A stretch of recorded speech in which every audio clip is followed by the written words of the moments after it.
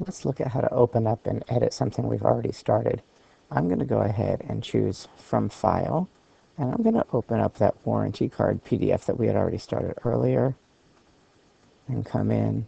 Again, I'm going to have to rotate it right because for whatever reason it likes to open up that way.